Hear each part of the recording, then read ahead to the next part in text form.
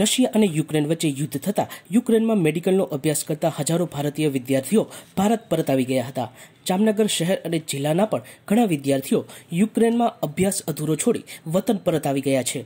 આવા વિદ્યાર્થીઓનું ભવિષ્ય અધ્ધરતાલ છે. આવા વિદ્યાર્થીઓને ભારતની મેડિકલ કોલેજોમાં પ્રવેશ આપવાની માંગ સાથે વાલીઓના માર્ગદર્શનમાં સહી ઝુંબેશ ચલાવવામાં આવી હતી.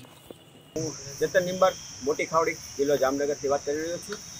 અત્યારે અમે અહીંયા એટલા માટે ભેગા થયા હતા કે એક અમે સિગ્નેચર કેમ્પેન રાખેલું છે. સિગ્નેચર કેમ્પેન એટલા માટે રાખેલું છે કે યુક્રેનથી જે મેડિકલમાં અભ્યાસ કરતા જે વિદ્યાર્થીઓ હતા, એ સુખરૂપ માર્ચ મહિનામાં અહીંયા પરત આવી ગયા છે ઇન્ડિયામાં. અને હવે એ લોકોને અભ્યાસ લઈને અમે સબ પેરેન્ટ્સો અને વિદ્યાર્થીઓ ચિંતિત છીએ. અને એના માટે એક અમે સિગ્નેચર કેમ્પેન કરીને અને વડાપ્રધાન શ્રી મોદી સાહેબ સુધી અમારે એક સિગ્નેચર કેમ્પેન પૂરું પાડવાનું છે ત્યાં. અને અમને એક જ અમારી ડિમાન્ડ છે કે આ વિદ્યાર્થીઓને એમનું ભવિષ્ય ન બગડે અને એમનું જે અભ્યાસ ન બગડે, એ માટે થઈને ભારતની મેડિકલ કોલેજમાં એમને એડમિશન આપી અને એમનો અભ્યાસ ચાલુ રહે કન્ટિન્યુ એ માટેની અમારી એક એક સિગ્નેચર કેમ્પેન રાખેલું છે. એમાં સૌ જામનગર જિલ્લા અને દ્વારકા જિલ્લાના અહીંયા વાલીઓ ભેગા થયા છે, વિદ્યાર્થીઓ સાથે. જામનગરમાં ધારાસભ્ય ધર્મેન્દ્રસિંહ જાડેજા હકુભા દ્વારા આયોજિત શ્રીમદ ભાગવત કથા આવતીકાલે પૂર્ણ થઈ રહી છે.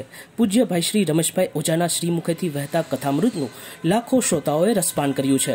કથા પૂર્ણાહુતિની પૂર્વ સંધ્યાએ યજમાન હકુબા તથા કથાકાર ભાઈશ્રી દ્વારા પત્રકાર પરિષદ યોજવામાં આવી હતી.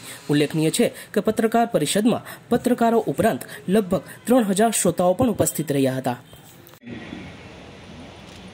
મારે એક જ પ્રશ્નનો જવાબ તમને આપવો છે, એમાં તમે સમજી શકશો. રાજનીતિ અને ધર્મ અહીંયા બહેનો આપણા બેઠા છે.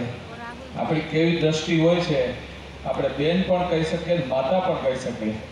હું બે હજાર સાતથી ગાયત્રીના ચરણોમાં વંદન કરવા માટે ત્યારે હું કોંગ્રેસ પાર્ટીમાં તો અર્જુનભાઈ મોઢવાડિયા અને ભીખુભાઈ વારોતરિયાને લઈને સાતમા ભાઈશ્રીના ચરણોમાં વંદન કરવા ગયો તો અમારા પૂજ્ય માતા ત્યારે રહ્યા હતા. માતા સોળમાં ગુજરી ગયા. કે પૂજ્ય ભાઈશ્રીની ભાગવત સત્તા અમારે પરિવારને કરવી છે. ત્યારે ભાઈશ્રીને અનુકૂળતા ના થઈ. એટલે તમને બધાને ખ્યાલ છે બે હજાર આઠમાં પૂજ્ય ભૂપેન્દ્રભાઈ પંડ્યાનીને ભાતર સત્તા રાખી હતી. જામનગરના વોર્ડ નંબર ચારમાં શૌચાલયો બનાવવાની માંગ સાથે કોર્પોરેટર રત્નાબેન નંદાણીયાની આગેવાનીમાં અનોખું વિરોધ પ્રદર્શન કરવામાં આવ્યું છે. શૌચાલયની બાલ્ટીઓ લઈને રચનાબેન તથા અન્ય પ્રદર્શનકારીઓ કમિશનર કચેરીએ પહોંચ્યા હતા. અહીં શૌચ ક્રિયાનું નાટક કરી કમિશનરને સમગ્ર મુદ્દે રજૂઆત કરવામાં આવી હતી.